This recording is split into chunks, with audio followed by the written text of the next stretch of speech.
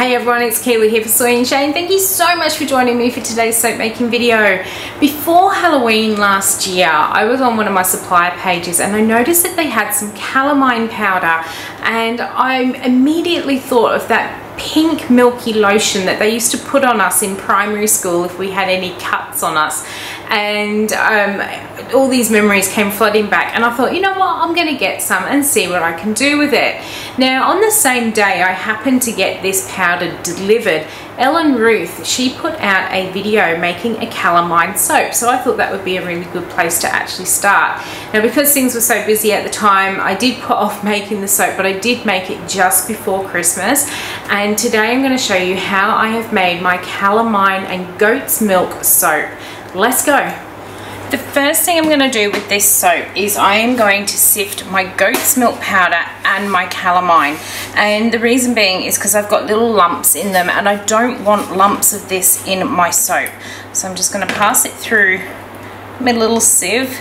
My bigger sieves are actually in the shed at home. I should bring one of them down because the little one does make it just that little bit trickier to pour into. We'll get this sifted through so we get rid of all of those lumps.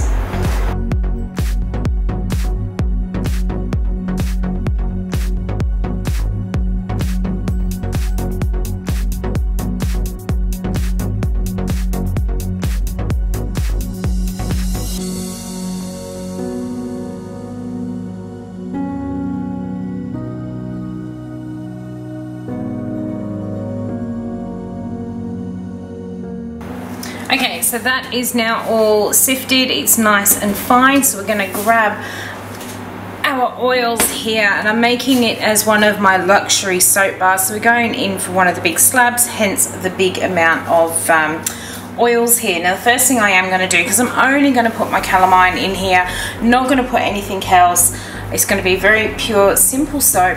I'm going to pour the calamine and the goat's milk into my oil, give it a good mix, make sure it's well combined and then we will add in our lye water and it's going to be very very simple because once that is all combined together with the lye water we will then put in our fragrance or our essential oil blend which I'll explain a little bit more about in a minute once I've finished making noise with this.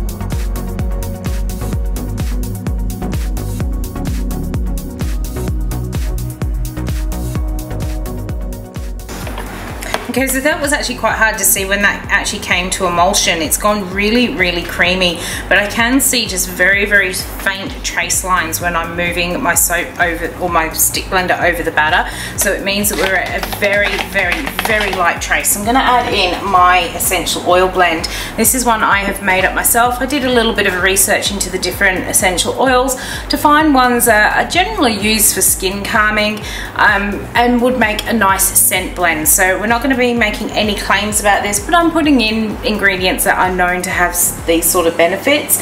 In here, I did a blend of um, chamomile, Roman chamomile, which has been diluted in jojoba oil. So we're gonna add in a little bit of extra super fat into this with that essential oil.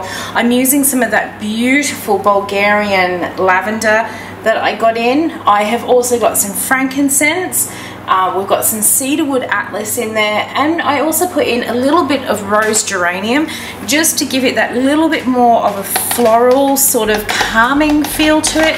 I don't know, I feel that rose geranium always has that real calming sort of smell along with the lavender and that smells just absolutely beautiful. I'm going to get it mixed in.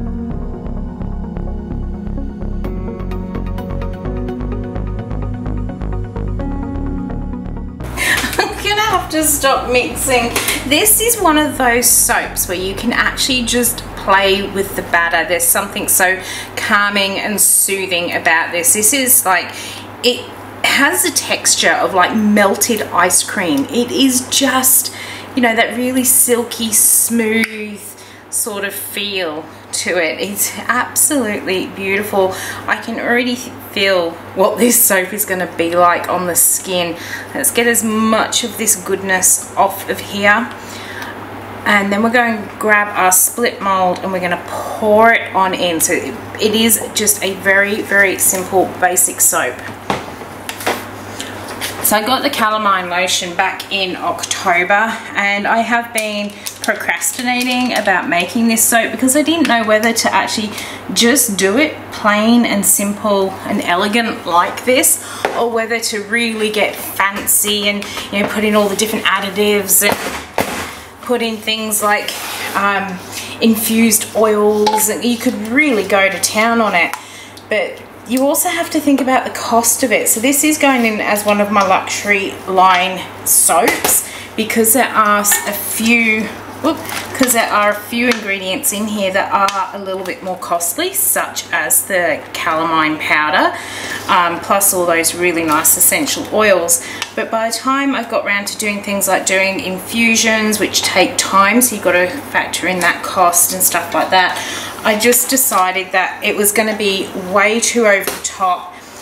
I wouldn't be able to charge the price that I would need to and the price that I do charge for the um, for my luxury soaps just wouldn't be enough to warrant putting all those beautiful extras that you could actually do. So I decided to keep it nice and simple and let the actual ingredients that are in here, that goat's milk, the calamine, beautiful essential oils that are in here as well, actually do all the talking. Let's get as much of this scraped out of here as I possibly can. And I'm absolutely loving the colour. Um, I've seen others making the calamine soaps. I kind of started watching other people making the calamine soaps after I'd seen Ellen Ruth make it. I literally saw her video um, the day I placed the order for the calamine lotion it just came up in my um, feed as a video that I may like to watch. That just goes to prove that they are watching us. So they knew I'd actually bought some. But I did start watching some other people with the calamine um, soaps. And it's amazing how we all get very different colors based on where the sort of iron oxide that's in the calamine comes from. So this one obviously has, to get this deep rich colour, has a very rich iron oxide in it because sometimes they come out very pale no matter how much of the powder you actually put in. Alright, we have got almost all of that scraped out.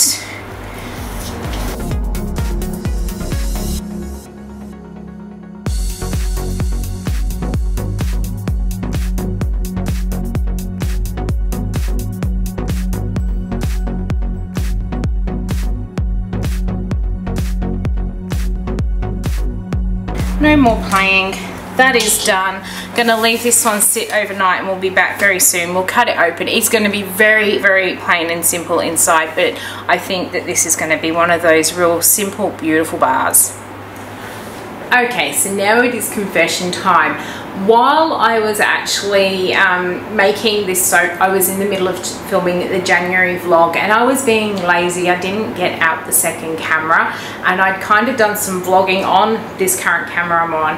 Then I'd made some soaps with it and then I did some more vlogging and I think when I went to do all the the video or transferring the videos and stuff and then deleting them. I think I deleted that footage as well thinking it was part of the vlog. So I do apologize, but what I have got here this is the cut soap. So you really didn't miss out on much of seeing me cut it because it is very plain, very, very simple, but I absolutely love it. Love the color that it has gone. I have got some glycerin rivers um, going through this one, but I'm really not bothered about that because it really adds to the whole feel of the soap. Um, glycerin is a humectant and it is a byproduct in the processes of making soap or mixing oils and an alkaline base. It is how glycerin is actually made and we use glycerin to moisturize our skin. So I'm not worried that I've got glycerin rivers in here because I think it just adds to the whole effect. Also gives it just that little bit more interest in the soap as well.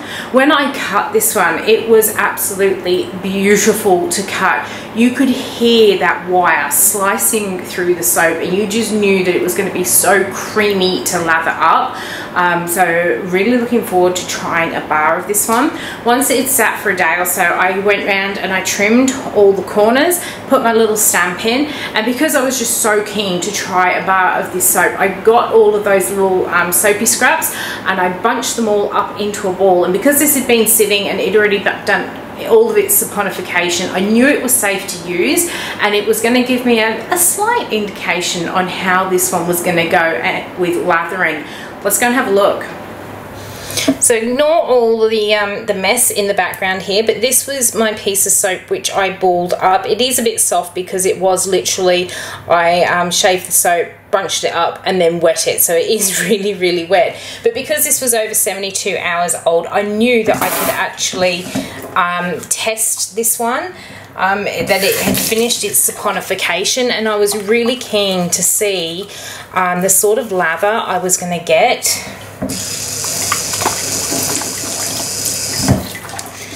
and it is beautiful and creamy and it is soft. And we've got these beautiful beautiful bubbles. So I can't wait until this one has actually finished its whole sort of cure process. See how it goes beautiful and creamy. Once this has finished its whole cure process, I will be snuffling a bar of this and taking it home because it is just, it feels so silky smooth on the skin as well. And the hands feel lovely and clean after using it.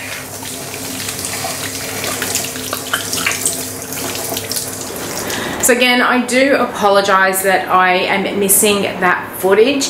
Um, if you do want to know when this soap is going to be ready, come and follow me over on Instagram. If you want to know any more about how I actually created the soap, how much calamine I used and things like that, I have done a couple of posts over on the Patreon page to go with this soap um, release.